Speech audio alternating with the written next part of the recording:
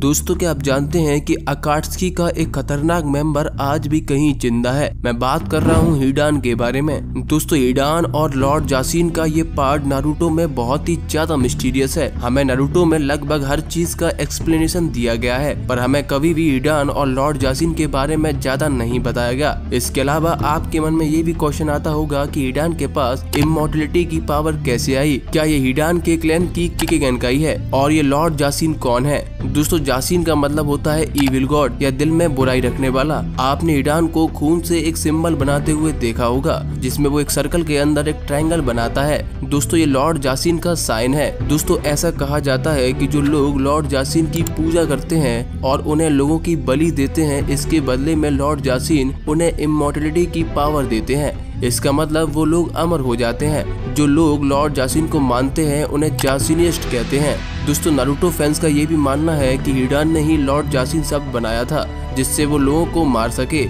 इसके अलावा कुछ लोग ये भी मानते हैं कि हिडान के क्लैन में एक स्पेशल एबिलिटी थी, जिसमें वो लोग एक साइन को बनाकर रीति रिवाज फॉलो करते हैं। और फिर लोगों को मारते हैं और उनकी लाइफ यूज़र को मिल जाती है, जिसकी वजह से ईडान के पास अमर होने की पावर थी। और ईडान ने बाकी लोगों से ये पावर छुपाने के लिए लॉर्ड जासिन शब्द बनाया था। दोस्तों, हमें नारुतो सीरीज़ में केवल हिडान ही दिखाया जाता है जो लॉर्ड जासिन को मानता है। तो ऐसी पॉसिबिलिटी सच में हो सकती है कि हिडान ने ही लॉर्ड जासिन शब्द बनाया हो। दोस्तों, इसके अलावा हमें बुरुटो सीरीज़ में एक और विलन दिखाया जाता है, जिसका नाम रियू की होता है। वो भी अमर होने के लिए लॉर्ड जासीन को छोटी बच्चियों की बलि देता है। पर दोस्तों, इसका रीति रिवाज हिडान से बहुत ही अलग होता है। रियुकी को अमर होने के लिए बहुत सारी लड़कियों की बलि देनी होती है। इसके साथ हमें ये भी दिखाया जाता है कि रियुकी हिडान का ही कोई स्टूडेंट होता है। दोस्तों, इससे हमें ये पता चलता है कि हिडान ने ही रियुकी को लॉर्ड जासिन के बारे में बताया होगा, जिससे वो भी लॉर्ड जासिन को मानने लगता है। दोस्तों, यही थी वीडियो।